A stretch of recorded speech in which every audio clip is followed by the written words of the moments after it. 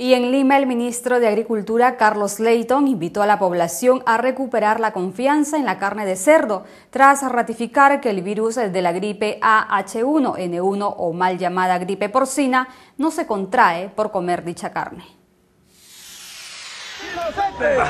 Somos inocentes, gritaron a viva voz los cerditos que a consecuencia de la gripe porcina fueron sacrificados en alguna parte del mundo.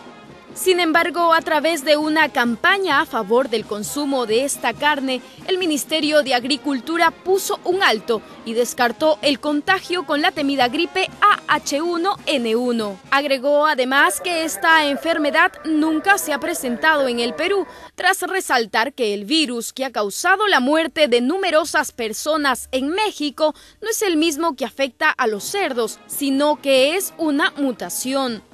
Queda completamente descartada que la carne de cerdo genera o contamina con respecto al virus de la influenza que se ha producido a nivel internacional. Eh, consumiendo cerdos no vamos a tener ningún problema. En ese sentido, el ministro Carlos Leighton invitó a todos los peruanos a consumir y renovar la confianza en el consumo de esta carne.